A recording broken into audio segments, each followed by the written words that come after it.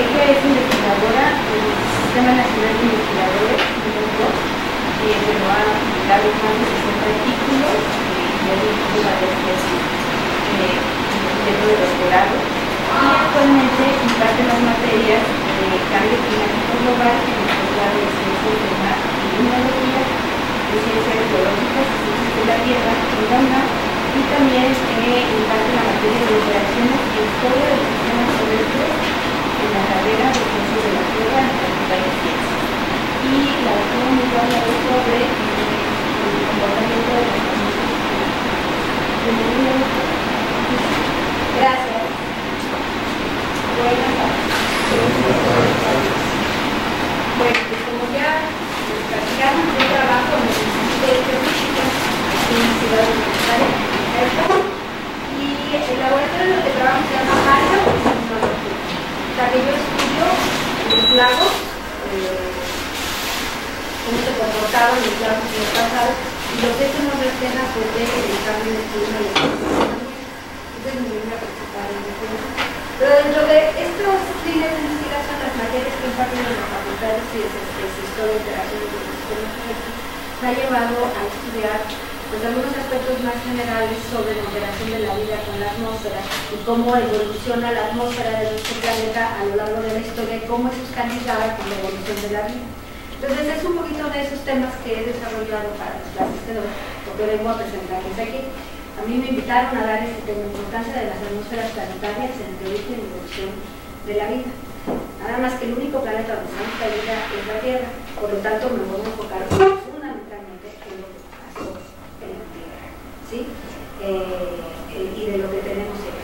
Pero voy a hacer propaganda, nosotros en el laboratorio tenemos un Facebook que se llama La Familia, donde publicamos semanalmente algunas pequeñas notitas de interés general sobre cuestiones de ambiente y clima.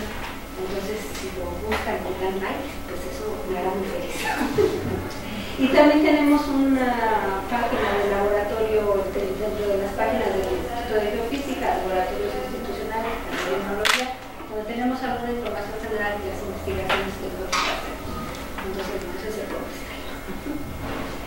Entonces,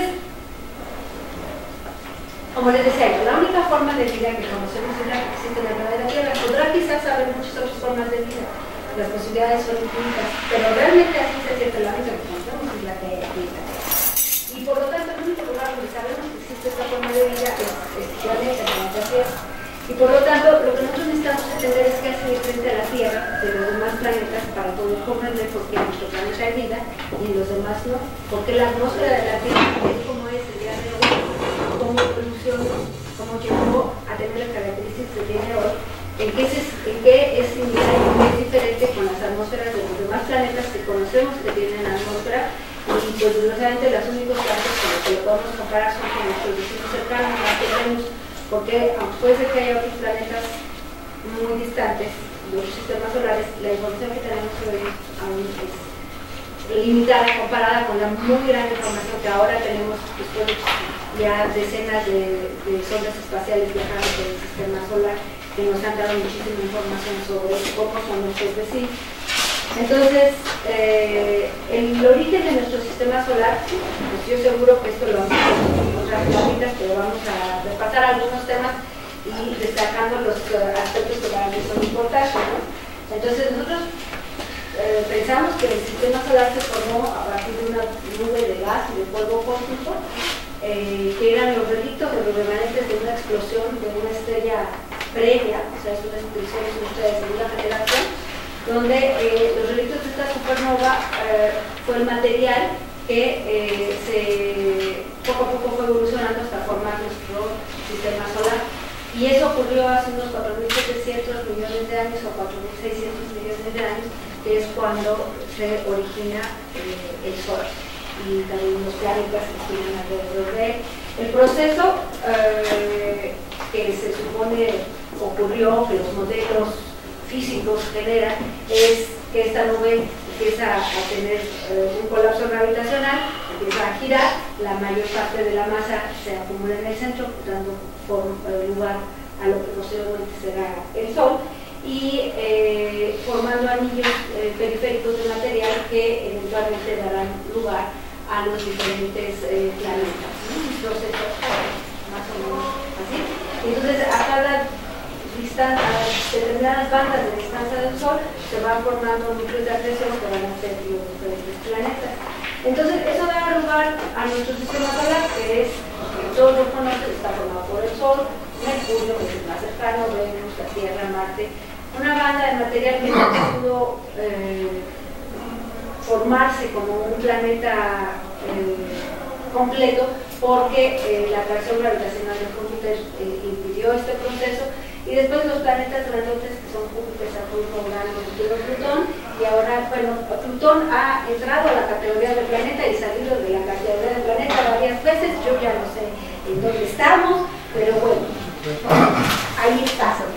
Y quizás Plutón más bien sea un objeto del cinturón de Cuvier, que es el cinturón de material del detrito que quedó de esta, esta nube de polvo cósmico alrededor de todo el sistema solar o quizás sea un planeta, pero no, no cumple con algunas de las características que se han dado para, para que esa planeta ¿Cómo se forman los planetas? Pues los planetas se forman por lo que sea un proceso de condensación. ¿Qué es esto?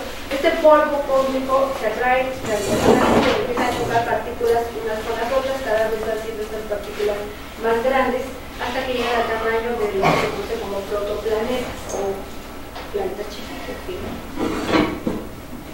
Eh, esta acreción cambia la energía cinética por energía calorífica y en este proceso de acreción estos ah, pedazos de roca que formaban la nebulosa donde se está formando se van calentando, inicialmente estaban fríos y por este choque se van calentando. Al irse calentando, ¿sí? al ir se van calentando y al irse, incluso pueden chocar fragmentos muy grandes en la, en la historia de nuestro planeta, cuando menos hubo una colisión ya de dos planetas bastante grandes, quizás del tamaño de Marte, de Marte actual, para formar lo que es la Tierra moderna, eh, eh, por lo menos. Eh, y al calentarse, los, los núcleos de los planetas adquieren temperaturas muy altas, el material rocoso que inicialmente estaba frío, al calentarse se funde y entonces hay una diferenciación por densidades. Los elementos más pesados, como el fierro por ejemplo, se van a ir al núcleo de este, este planeta, de este eh, bloque de roca ya bastante grande, y los materiales más ligeros como los silicatos van a formar por ejemplo el manto o la corteza.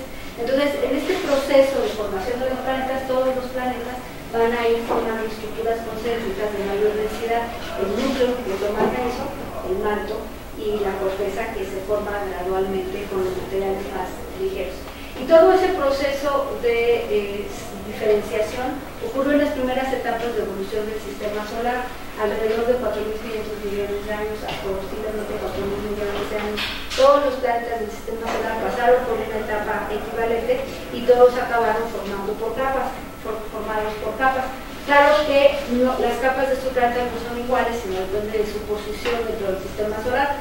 Los planetas que llamamos jovianos o los planetas gigantes, que son Júpiter, Saturno, Urano y Neptuno, eh, esos planetas gigantes son muy diferentes de los planetas relativamente pequeños como la Tierra, esta es la Tierra para comparación, a los que llamamos planetas rocosos, porque los materiales en los que se formaron fueron diferentes.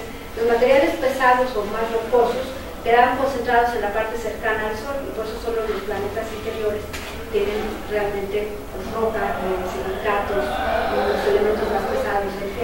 Y los planetas más lejanos quedaron muy enriquecidos en los elementos más ligeros, de los cuales los planetas terrestres tenemos muy poquito, por ejemplo el hidrógeno y el helio. Entonces los planetas jovianos, también se conocen como planetas exteriores, son gigantescos en tamaño, porque comparados con la Tierra, fíjense nada más de qué tamaño, que yo tamaño son. Sin embargo, son un poco densos. Si pusiéramos un vasito de agua, flotarían, porque los elementos que los componen, a ser tan grandes, son muy ligeros. ¿Sí? Principalmente están formados de hidrógeno, helio y helio, y solamente su núcleo es un núcleo rocoso, solamente es lo más pesado. y entonces, los, los planetas eh, jovianos eh, estos son Saturno y Júpiter tienen este modelo, Urano y Neptuno tienen este modelo, pero en general tienen un núcleo rocoso después van teniendo capas de elementos que están, eh, hidrógeno y helio que están en estado líquido y después una capa gaseosa de estos elementos. ¿Por qué se llama jovianos? De Júpiter. Júpiter es el modelo de estos, y entonces eh, joviano y este. Entonces son los interiores se conocen como planetas terrestres porque el modelo es Entonces, en los planetas terrestres o con planetas interiores, que son los primeros que cercanos al Sol, son mucho más chiquitos y están compuestos de materiales mucho más pesados como silicatos de fierro y magnesio, como el fierro, níquel, como azufre, elementos son muy poco abundantes en los planetas exteriores. Y todos tienen un modelo como esto, un núcleo de hierro y níquel, un manto de silicatos y una corteza, que esa la, corteza va a ser diferente en diferentes planetas según los procesos eh, que se hayan uh, originado en cada uno, pero la corteza también es de silicatos relativamente ligeros, son las rocas más ligeras. Entonces todos los planetas van a tener esta estructura, todos se van a formar así. Y eh, dependiendo de su tamaño, vamos a ver que algunos de los planetas terrestres van a tener atmósfera y dependiendo de la temperatura a la que está la superficie, eh, van a tener hidrósfera o no van a tener hidrósfera. Hidrósfera quiere decir agua líquida. ¿sí? Sea, puede ser que tengan agua, pero no han estado. ¿Como cuáles, maestra? Eh, como cuáles eh, planetas este, terrestres tienen este tienen eh? Ahorita, bueno, ah, a eso voy, creo que sí, permítame un segundo, por favor. Entonces, la parte rígida o sólida que tiene esta estructura, sobre de ella vamos a tener, que podemos tener atmósfera o podemos tener hidrósfera y vamos a ver cuáles plantas tienen cosa, ¿sí? Entonces, tenemos a la Tierra, obviamente, sabemos que tiene una atmósfera y sabemos que tiene una hidrósfera, ¿verdad? La atmósfera de la Tierra, aquí le pongo uno porque es la referencia, la presión atmosférica la podemos referir como que la presión atmosférica es igual a 1, porque es la referencia. Si nosotros nos vamos a Venus, ustedes ven aquí tiene 90. Eso quiere decir que la atmósfera de la Tierra es 90 veces más pesada, perdón, la atmósfera de Venus es 90 veces más pesada que la atmósfera de la Tierra. Y Marte tiene 0.007, eso quiere decir que la atmósfera de Marte es 0.07 la de la Tierra, o sea, es muchísimo más ligera y más liviana. Venus tiene eh, gases que son 90 veces más pesados que los de la Tierra. La atmósfera de la Tierra está formada pues, o recuerden, de, hidrógeno es el más abundante, en un 78%. Después tenemos oxígeno, que es aproximadamente el 12%. Y después tenemos este gas, el amarillo, que es el dióxido de carbono o dióxido de carbono, cualquiera de las dos formas que pueden usar, y que es 0.03%, un gas muy poco abundante.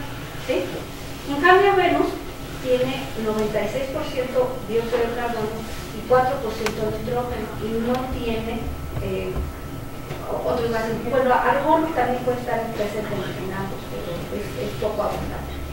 Y Marte tiene eh, 95% de dióxido de carbono y 3% de nitrógeno. Entonces, si ustedes comparan Venus con Marte en cuanto a su composición química, pueden ver que son básicamente iguales. En cambio, comparan Venus y Marte con la Tierra y pueden ver que la Tierra es totalmente distinta, completamente distinta. Para empezar, Venus ni Marte tienen este elemento en rojo que es el oxígeno. Ninguno de los dos tiene oxígeno. Segundo, la Tierra, el gas más abundante es nitrógeno, que en estos planetas es un gas que sí está presente, pero es muy poco abundante. Tercero, un gas que es súper poco abundante el uso de carbono en la Tierra es el gas dominante tanto en Marte como en Venus. Entonces, estos son los únicos planetas que tienen atmósfera.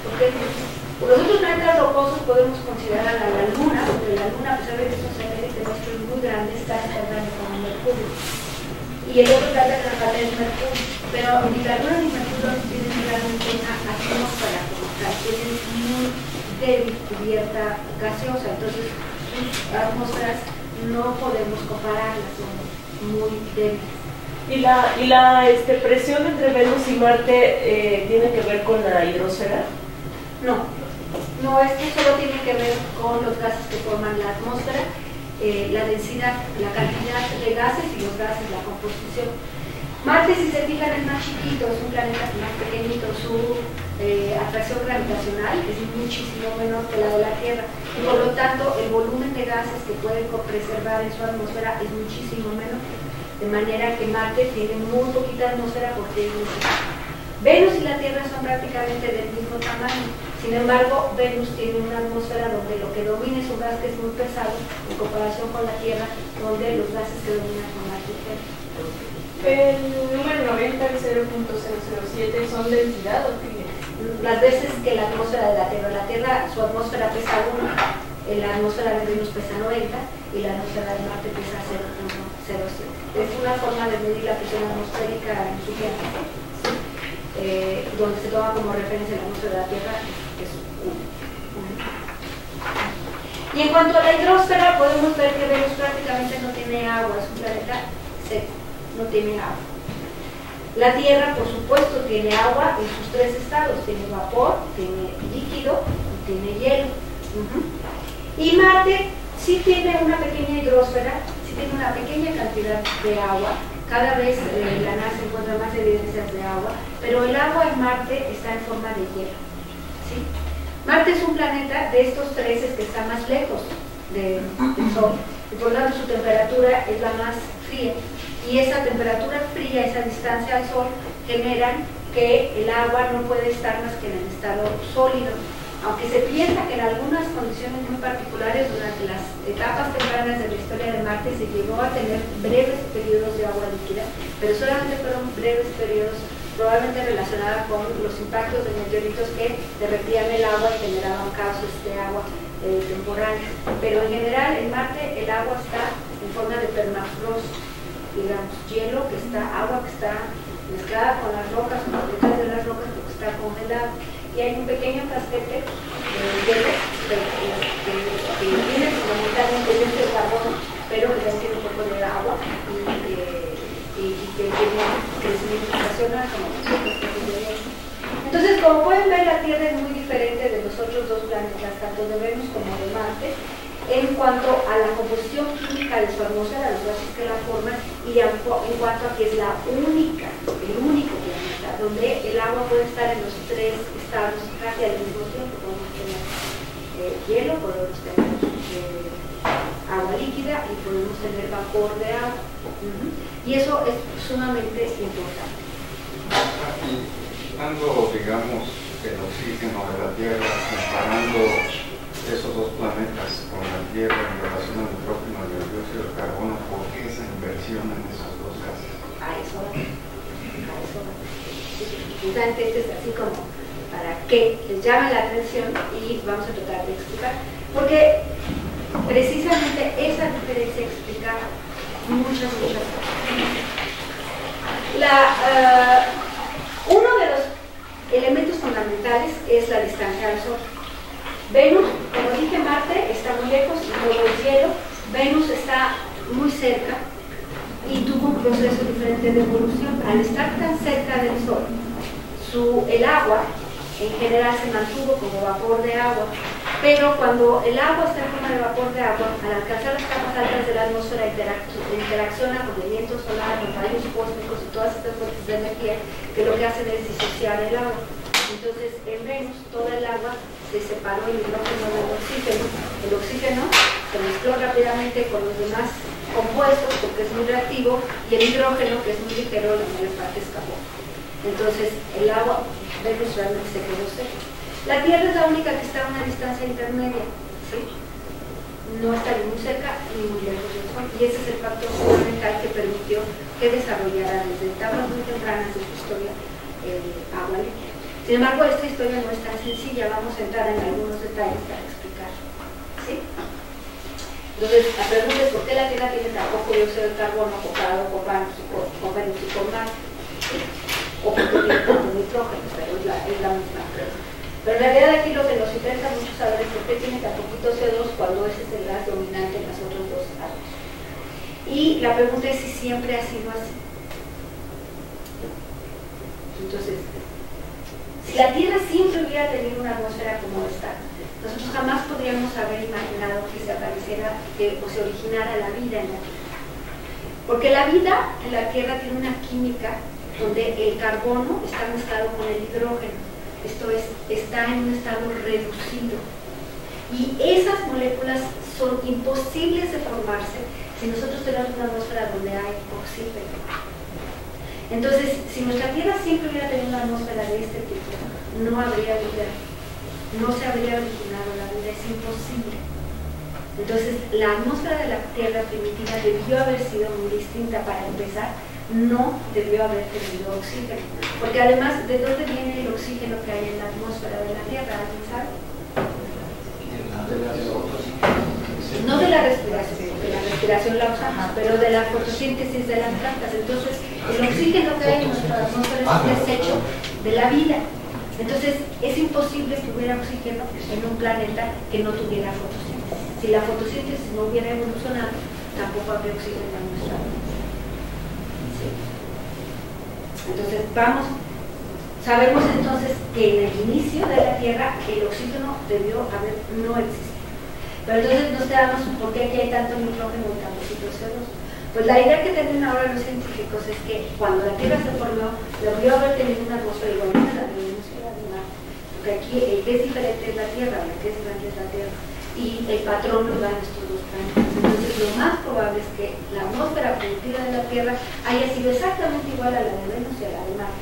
Y lo que tenemos que explicar es qué pasó, cómo evolucionó para pasar de una atmósfera tipo Venus a una atmósfera tipo Tierra. ¿Sí? Entonces vamos a ver todo. Ahora, ¿por qué la Tierra tiene tanta agua comparado con Venus y Marte? Y la pregunta es si siempre ha sido así también, ¿no? Entonces ya un poquito les empecé a explicar por qué la Tierra sí tiene agua una hidrosfera conectada compleja con los tres estados y un elemento muy importante es la temperatura de la superficie del planeta y su distancia al Sol. Pero vamos a ver de dónde viene tanto la atmósfera como la hidrosfera del planeta. Porque esas capas de la Tierra no se formaron por el mismo proceso que les platiqué, donde la roca se y los elementos pesados eh, se van a hacer sino es, son capas secundarias, tanto la atmósfera como la hidrosfera son capas secundarias. Una vez que tenemos la parte sólida del planeta, todos los plantas rocosos tuvieron procesos de evolución que involucraron tener volcanes, y a través de los volcanes salen los gases de las rocas que se están reacomodando en el manto Químicamente las rocas están cambiando su composición al estar sometidas a presiones diferentes en diferentes niveles del manto. Y parte de esa descomposición, digamos, o ese rearreglo químico de las rocas es que el agua que estaba en el arreglo molecular de estos, de estos silicatos se separa y se, se desliga de los silicatos y entonces va a salir por los, las ventilas volcánicas. Entonces, todos estos gases que están formándose en las rocas es en realidad lo que va a formar a los volcanes, estos elementos más ligeros. ¿sí? Entonces, todo, tanto Venus como Marte, como la Tierra, tuvieron procesos iniciales de vulcanismo. Los tres planetas tuvieron un vulcanismo muy activo en sus etapas iniciales. ¿sí? Y estos procesos de vulcanismo generaron que los volcanes arrojaran gases a la atmósfera. Y esos gases están formados principalmente por nitrógeno, por vapor de agua y por dióxido de carbono. ¿Sí? El dióxido de carbono se va a quedar en la atmósfera. El agua va a depender de la temperatura. En los océanos, en la Tierra va a formar océanos, en Marte va a formar hielo y en Venus se va a quedar como vapor. Y ya les dije yo que cuando está el agua en vapor, normalmente acaba separándose el hidrógeno y oxígeno el hidrógeno escapa y el oxígeno reacciona con cualquier cosa que se le ponga enfrente, entonces queda mezclado. Entonces, esto es lo que le pasó al agua de Venus. En Marte se quedó en forma de hielo y en la Tierra el agua condensó, llovió y formó océanos. ¿Sí? Esa es una gran diferencia. El hidrógeno se queda en la atmósfera, el dióxido de carbono se queda en la atmósfera. ¿sí? Y el hidrógeno que sale también llega a salir algo de hidrógeno de los volcanes. Ese normalmente escapa porque nuestros planetas son muy chiquitos no retienen por su gravedad el hidrógeno. formaron sus atmósferas de la misma manera. Entonces, todas las atmósferas debieron ser muy parecidas inicialmente, donde el gas principal que sale de aquí es el dióxido de carbono y el nitrógeno en proporciones mucho menores, como, las atmósferas de Venus. Este proceso se llama degasamiento. Entonces, las atmósferas se forman por degasamiento. Y este proceso ocurrió entre 4.600 y 4.000 millones de años que es los periodos iniciales que se conocen como el arqueano en la historia de la Tierra. Entonces, los principales gases, nitrógeno, dióxido de carbono, se acumulan en las atmósferas formando las atmósferas primitivas, pero con el dióxido de carbono en mucha mayor proporción que el nitrógeno. Perdón, profesora, ¿con qué diferencia de tiempo se formó primero el sistema solar y después los planetas? Bueno, es que el sistema solar no existe sin los planetas. ¿sí? ¿Perdón? El sistema solar no existe sin no planetas. O sea, el sistema solar se forma cuando se forman los planetas y el Sol, y todo ocurre más o menos al mismo tiempo. En esta nebulosa que va girando, la parte central de la nebulosa se forma el Sol y en la parte periférica de la nebulosa se forman los planetas. O sea, es simultáneo. Más o menos simultáneo, sí. Y todos los fechamientos que tenemos de los eh, meteoritos, que son las fechas más antiguas, confirman que estas son 4.600 millones de años, es más o menos el momento en que los, los objetos como los planetas empiezan a formar y es más menos la dimensión. Maestra, perdón, ¿y este, en qué proporción suponen ustedes que el vulcanismo indujo a la producción de agua para la atmósfera? Bueno, o incluso el agua de los océanos, ¿no? Porque es que el agua se subió y volvió a caer en los océanos. Porque hay muchas teorías de que el agua eh, este, pues, proviene de otros lados también, ¿no? Hay la idea de que parte del agua puede provenir de los cometas o de los meteoritos, de, los meteoritos que cayeron en la Tierra, puesto que los meteoritos tienen un gran porcentaje de hielo en su composición eh, bueno, hay los que piensan que todo el agua viene por este proceso de degasamiento, hay los que piensan que todo el agua viene de los meteoritos. Los estudios que se han hecho con isótopos de agua y su distribución en todo el sistema solar nos indican que el agua de la Tierra es una mezcla de ambas fuentes, donde el vulcanismo es una fuente muy importante, pero también hubo una contribución del agua de los meteoritos. Perdón, profesora, ¿por qué esa diferencia entre agua dulce, que es y el agua salada, que es la tragedia de la tierra para nosotros. Punto 96% de, de agua dulce y el resto de agua salada. ¿Por qué esa tragedia? ¿Por qué tragedia? No, imagínense, pues ya no tenemos agua para, la semana que entra. Sí, pero ese no es problema de la tierra, digamos, ese es problema de nosotros. De, de, de Puchamada, ¿no? Sí, pues así. Bueno, ahorita vamos a ver cómo viene la salinidad del los porque precisamente el agua inicialmente debió ser dulce. Esta agua que llovió, o que salió, el agua que salió de las ventilas volcánicas, tragedia era para, dulce. Tragedia para la vida. No, para la vida no. Solo porque La tragedia es solamente para los humanos. Okay.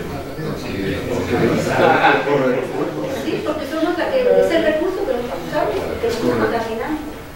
La vida, por ejemplo, las ballenas agua del mar y no les importa. Es correcto. Entonces, vamos a, ya no me acuerdo quién era. Um, sí, eso ya lo dije, entonces vamos a continuar. Entonces, ya hablamos de la distancia al Sol y de la cantidad de CO2 en la atmósfera. Estos dos elementos son muy importantes y controlan la temperatura del planeta. Entendemos muy bien que la distancia al Sol sea un elemento que controla la temperatura del planeta, pero también la concentración de CO2 en su atmósfera es un elemento que controla la temperatura del planeta, porque el CO2 es una especie de termostato en la atmósfera, porque es un gas que conocemos que tiene propiedades que se han definido como gases de invernadero de efecto invernadero. Esto es, que eh, tiene la capacidad de absorber ciertas longitudes de onda que eh, otros gases no pueden absorber y eso eleva la temperatura del planeta, aún teniendo la misma energía que Sol. Recicla de alguna forma esta energía y eleva la temperatura y eso es similar a lo que ocurre en un invernadero. Cuando entramos en un invernadero la temperatura está más calientita, a pesar de que tiene la misma energía solar que está llegando que la parte de afuera, no tiene un calentador adentro, sino es la misma energía solar. Entonces, de esa forma que recicla la energía solar por el vidrio del invernadero, el- los gases de la atmósfera con dióxido de carbono también tienen esa propiedad, por eso se les conoce como gases de invernadero. De manera que en planetas donde tenemos una gran cantidad de CO2 también podemos esperar que la temperatura de